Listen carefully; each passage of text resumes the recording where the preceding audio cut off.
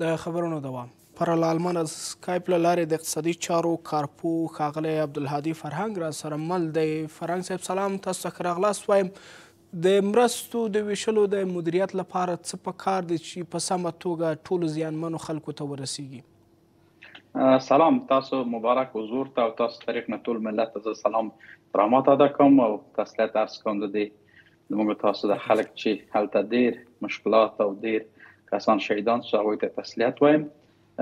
خو اصلي مسله دا ده چې سازمان ملل هغه امورونه چې ورکوي باید یو سیستم اوس د هغه خبره وای سر وخت چې یو سیستم ایجاد سي چې دوی ته اساسي کار ورته پیدا سي لکه یو مسکن او کورونه باید اساسی ځای ورته ورکی اوس کمکونه یوازې سازمان ملل یا سره میاشت یا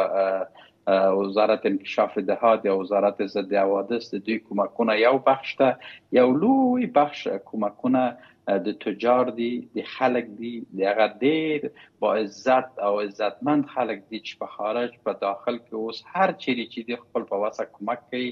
د ډیر لوی بخش د خلک کمک تشکیلات دي خو خبره دا ده چې دا باید منسجم سي یوازې نه ده چې دوی ته اوس پیسې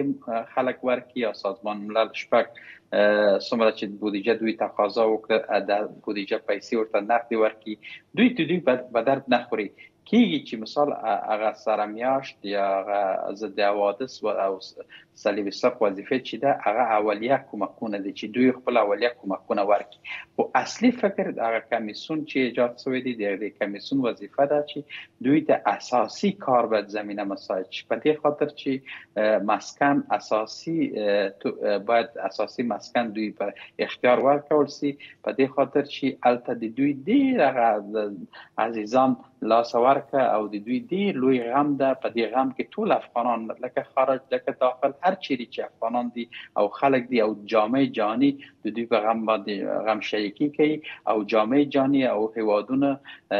مکلف دي چې هغه بودیجه چې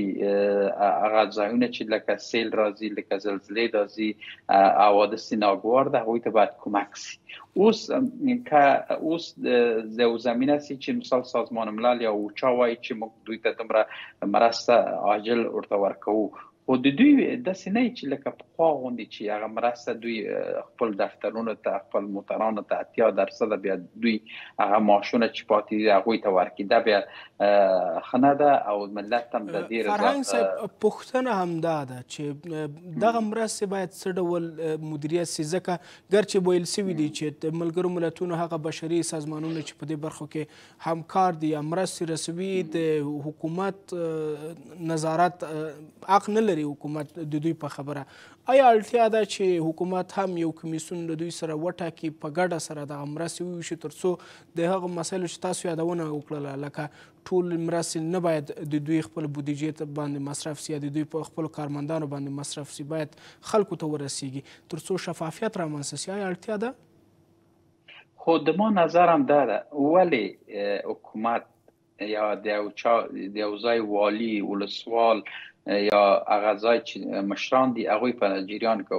باید واچول سي هغه باید نه په یو کمیسون منظم کې دوی سره هم کار وي ولی ونسی دا خو شفافیت بیا نه چې دوی وایي چې دوی دولت هیڅ کار نه موږ خپل کار کو دا خو بیا خنه دوی به هر کار چې وکړي هغه خپل ماشون اخلي خپل هغه محترم دي نور دي نور دغه پات سوی ماشان چې دغه ماشان خپل اخلي بیا هغه بیچاره خلک هغه دربدرد او مشکلات اوس تاسو ویني مونږ تاسو وینو مونږ هلته ټول هر ورځ هر ارتباط لرو خبرې کوو خلک تشویقو کمک لپاره هر ورځ په جریان کوو خو مونږ چې وینو هلته د جامع جانی هلته د اوچا یا سازمان ملل هغه لوی کمکونه چې اوس دی استدلال کوي هغه کمکونه هلته نشته ولی خو داسې نه چې دوی کومکونه واخلي او بیرته معاشونه ورکړي او شل درصد هغه بودجه سیده دوی ته ورکړي اتیا درصد دوی ځان ته دا بیا خنه خو خبره دا ده چې باید دولت باید هغه کمیسیون په جریان کې واچول سي او میډیا ته خلک ته حساب دی سي لکه اوس د تاسو د تلویزیون د طریق نه شروع نور تلویزیونونو د طریق نه باید خلک ته آگاهی رسی چې دومره بودجه مثال شپږ میلیون دلار راغی په دې شپږ میلیون دلار موږ دومره کورونه جوړ کړو دومره یو شفافیت راسي دا شفافیت کې رانسی دا یو ظلم ده ملت ته هغه خلک ته هغه شهیدان ته هغه خلک چې هلته ویني اوس را روان ده هلته اوبه نشته خلک اوبه نه لري شپې مثال او سرپناه نه لري او بارانونه راځي واورې راځي هلته خیمې څه په درد خوري خو خبره دا ده داسې نه چې بیرته هغه اوچا ده او هغه سازمان ملل ده او هغه خلک دی او بیا بیرته هغه پیسې دوی ورکړي خو خبره د ما نظر دا ده چې ټول په شفافیت باندې تقسیم سي او کمیسون او والی د هغه ځای چې ده ټول په جریان کې سي او ټول خلک دغه والي مکلف ده چې ګزارشدهي وکړي چې د سازمان ملل مثال درې میلیونه څلور میلیونه چې راغی په دې ځای کې مصرف شو د تجار په دې ځای کې مصرف شو اوس ماشاءالله ماشاءالله د موږ تاسو تجاران خارج داخل او خلک او عام خلک ډیر کومکونه البته خپل درد احساسي او خپل کومکونه کوي او ډیر په شوق ذوق دي او زه وایم چې د شوق د ذوق چی دا خلک کمک کوي خپل ورونو ته خپل هغه درد دیده ورونو ته دا باید د سونه سي چې خدای نه خواسته د دې مشکل د دوی هم یو منفي پوشش سي او د دوی کومکونه هم د خلک ته ونه رسیږي سره غواړم هم دلته یو پوښتنه مطرح کړم د ولسی مرستو مدیریت لپاره څه پکار دي ځکه تاسو اوس په خپل خبرو کې یادونه وکړه چې خدای مه کړه یو منفي پوښښ ورنه کړل سي، څه باید وسي چې دغه ولسي مرستې که هغه د تجار دي، که د یو شخص مرسته ده، که له بهره د افغانانو مرستې دي چې په منسجم ډول باندې تر زلزله ځپلو او هغه کسانو چې زیان لیدلی ورسیږي ترڅو د یو مودې لپاره د هغوی د درد لپاره دوا سي.